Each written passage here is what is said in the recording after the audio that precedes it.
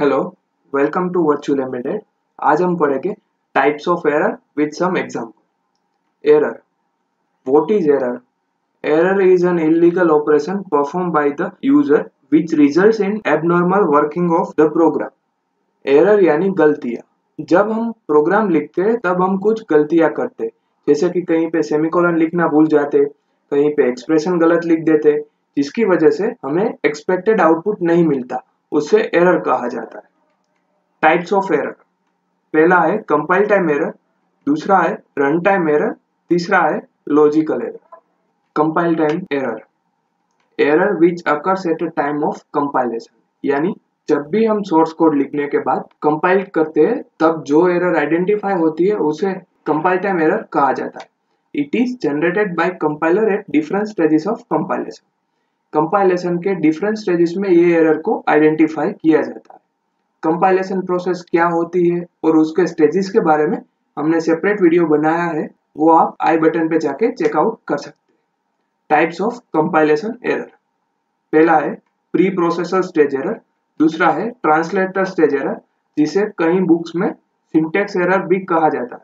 तीसरा है linker stage error पहला है preprocessor stage error error which identify at pre-processor stage of compilation. Error जो प्रोसेसर स्टेज में आइडेंटिफाई होती है, उसे प्रोसेसर स्टेज एरर कहा जाता है। जैसे कि unable to find header file mismatch of header file इसके बारे में हमारे प्रीवियस वीडियो कंपाइलेशन स्टेजेस में डिटेल में बताया है। वो एरर के बारे में यहाँ आई बटन पे जाके चेकआउट कर सकते हैं। इस एरर को हम कुछ स्नैपशॉट से देखेंगे, जो हमने प्रीवियस वीडियो में डेमो दिया हुआ है। यहाँ पे hash include S T I O dot H लिखा हुआ है, जहाँ पे S T D I O dot H होना चाहिए, यानी कि यहाँ यहाँ पे हमने गलती की है। तो यहाँ पे हमें दिखाया जाएगा S T I O dot H no such file और डायरेक्टली यानी कि हमारा जो कंपाइलर है, वो ये S T I O dot H file fetch करने में अनेबल है।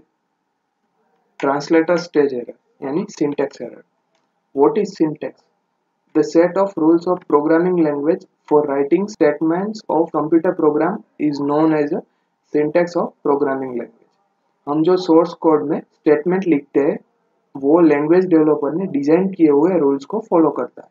इस रूल को सिंटेक्स ऑफ़ प्रोग्रामिंग लैंग्वेज कहा जाता है। Compiler does not compile code that contains syntax error compiler ऐसे सोर्स कोड को कंपाइल नहीं करता जिसमें सिंटेक्स एरर मौजूद है।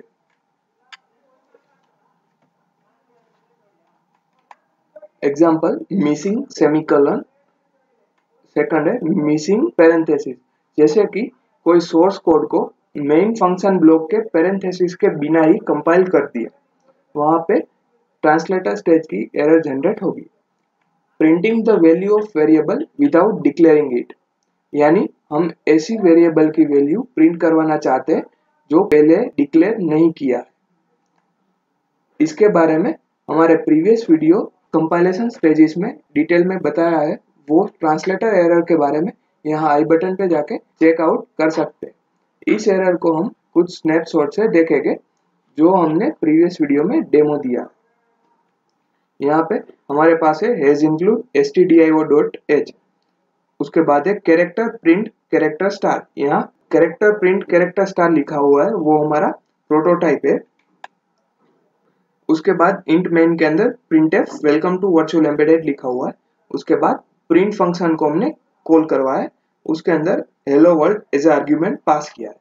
और उसके बाद इन मेन फ़ंक्शन कंप्लीट होता है और कैरेक्टर प्रिंट फ़ंक्शन की डेफिनेशन स्टार्ट होती यहाँ पे हमने as a argument character variable लिया हुआ है, जिसकी वजह से यहाँ पे एरर जनरेट हो रही है। कॉन्फ्लिक्टिंग टाइप्स ऑफ़ प्रिंट यानी प्रिंट की प्रोटोटाइप में जो हमने आर्ग्यूमेंट दिया है और जो आर्ग्यूमेंट हमने एज ए डेफिनेशन दिया हुआ है, वो दोनों डिफरेंट है।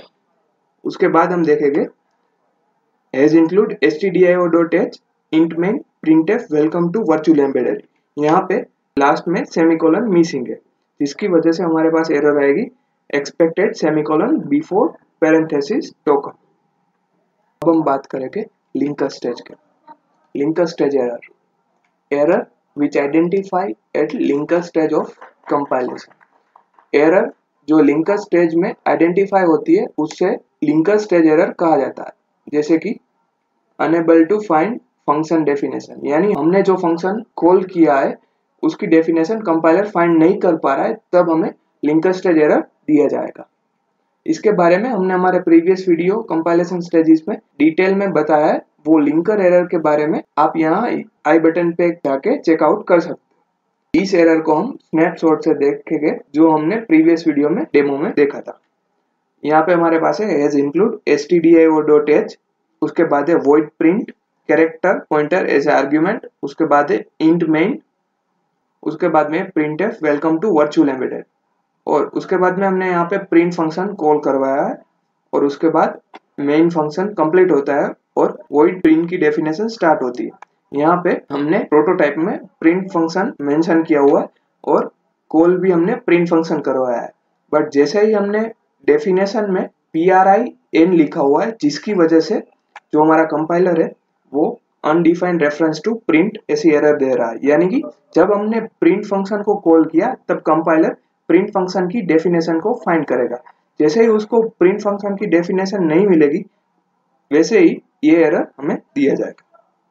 अब हम बात करेंगे रन टाइम एरर के बारे में। The error that occur during the execution of program is called run time error यानी यहाँ पे जो हमारी सोर्स फ़ाइल है, उसका कंपाइलेशन सक्सेसफुली हो जाता है।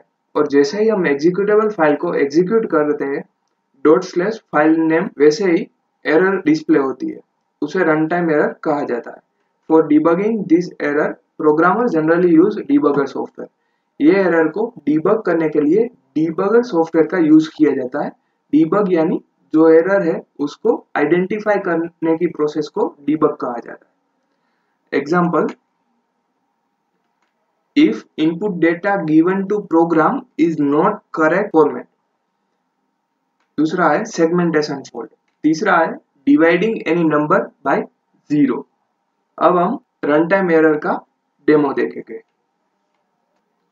यहाँ पे हमारे पास है zero one segmentation dot C और दूसरा है zero two floating dot C यहाँ पे दो हमारी सोर्स कोड है। हम यहाँ पे ज़ीरो वन सेगमेंटेशन फ़ाइल को ओपन करते हैं zero one segmentation dot C यहाँ पे हम as include S T D I dot H उसके बाद इंट मेन और इंट मेन के बाद कुछ प्रिंट एप स्टेटमेंट लिखे हुए हैं और उसके बाद स्कैन एप लिखा हुआ है। जैसे ही हम कोई वेरिएबल को स्कैन करते हैं, तब एज ए आर्ग्यूमेंट हम एड्रेस ऑपरेटर उसको देते हैं। यहाँ पे हमने एड्रेस ऑपरेटर देना भूल गए, यानी एड्रेस ऑपरेटर मिसिंग है। जैसे हम इस कोड को कंपाइल करते C C zero one segmentation dot C यहाँ पे कुछ वार्निंग्स आ रही है और यहाँ पे हमारा कोड सक्सेसफुली कंपाइल हो गया। अब हम हमारी एग्जीक्यूटेबल फ़ाइल को एक्सेस करके dot slash A dot out जैसे एंटर प्रेस करते हैं, यहाँ पे वो हमें रोल नंबर पूछ रहा है।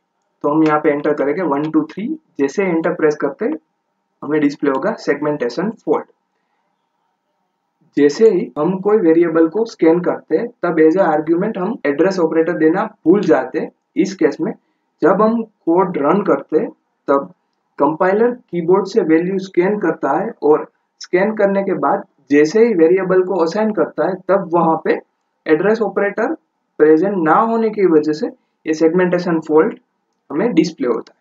सेगमेंटेशन फॉल्ट यानी हम जब अनऑथराइज मेमोरी को एक्सेस या मॉडिफाई करते हैं तब हमें ये एरर डिस्प्ले होती है। अब हम देखेंगे हमारी दूसरा source code B I zero two floating dot C यहाँ पे हम दो वैल्यू को स्कैन करवा रहे हैं और उसके बाद उसका कुछ मैथमेटिकल ऑपरेशन करवा रहे हैं। ठीक है? अब हम इस सोर्स कोड को कंपाइल करेंगे।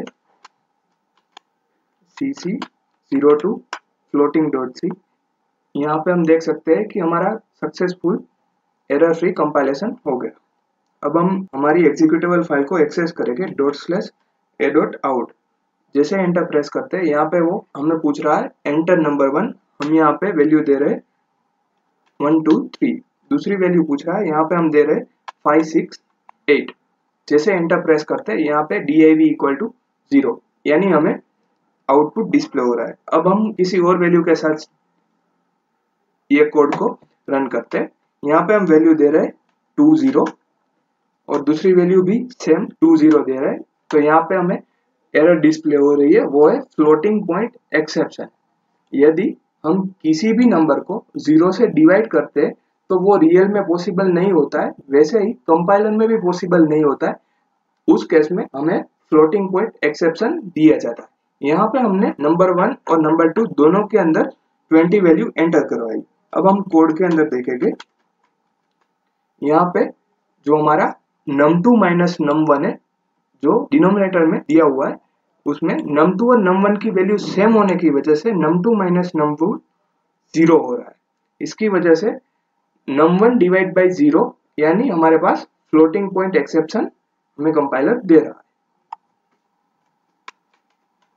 अब हम बात करेंगे लॉजिकल एरर के बारे में। The error in logic of program is called logical error ये एरर प्रोग्रामर के लॉजिक में गलती होने की वजह से जनरेट होती है। Compiler can not detect logical error ये एरर को कंपाइलर डिटेक्ट नहीं कर पाता। Code with logical error compiled successfully as well as run successfully, but it don't give any error. हम जब कोई सोर्स कोड को कंपाइल करते हैं वो एरर फ्री कंपाइल हो जाता है। जैसे ही रन करते, वो सक्सेसफुली रन भी हो जाता है। बट हमारा जो एक्सपेक्टेड आउटपुट है, वो हमें नहीं मिलता। उस केस में हमारी लॉजिकल एरर होने के चांसेस है। Program make produce correct output for some input logical error में पॉसिबिलिटी होती है कि स्पेसिफिक इनपुट के लिए करेक्ट आउटपुट मिलता है। अब हम लॉजिकल एरर को एक कोड के डेमो से देखेंगे। यहाँ पे हमारे पास है V I sorry zero one E dot C इस फ़ाइल को हम ओपन करेंगे V I zero one E dot C जैसे एंटर प्रेस करते यहाँ पे हमारे पास num one num two and sum तीन वेरिएबल है। हम तीनों को बारी, तीनों में से num one and num two को स्कैन करवा रहे हैं और उसके बाद उसका एडिशन करवा रहे हैं। यहाँ पे एडिशन के लिए हमें num one plus num two लिखना था बट हमने यहाँ पे num one into num two लिख दिया। यानी कि हमने यहाँ पे लॉजिकली गलती की हुई है। तो अब हम इस कोड को कंपाइल करते हैं। C C zero one E dot C यहाँ पे सक्सेसफुली कोड कंपाइल हो गया। जैसे हम इस कोड को रन करते हैं, यहाँ पे हम वैल्यू एंटर करते हैं टू और दूसरी वैल्यू एंटर करते हैं टू यहाँ पे हमारा आउटपुट आ रहा है फोर बट अभी हम इस कोड को दूसरी वैल्यू एंटर करके देखेंगे। यहाँ पे हम वैल्यू एंटर कर रहे हैं सिक्स और दूसरी वैल्यू एंटर कर रहे हैं फाइव यानी यहाँ पे एक्चुअल में आउटपुट आना चाहिए था sum equal to eleven but उसकी जगह पे यहाँ पे आ रहा है थर्टी बट जो हमारा प्रीवियस केस था, वहाँ पे two plus two equal to four यानी वहाँ पे हमारा आउटपुट सही आ रहा था। बट जब हम सिक्स और फाइव इनपुट दे रहे हैं, तब हमारा आउटपुट थर्टी आ रहा है। यानी कि अब हमारा आउटपुट जो एक्सपेक्टेड आउटपुट है, उससे मैच नहीं कर रहा है। यानी कि हमारे इस कोड के अंदर कुछ लॉजिकल गलतियाँ जो गलती हमने डिस्कस की हुई थी, वो थी sum equal to num one plus num two आना चाहिए। और यहाँ पे हमने कोड के अंदर num one into num two लिखा हुआ है। इसकी वजह से ये एरर जनरेट हो रहा है। Thank you for watching this video.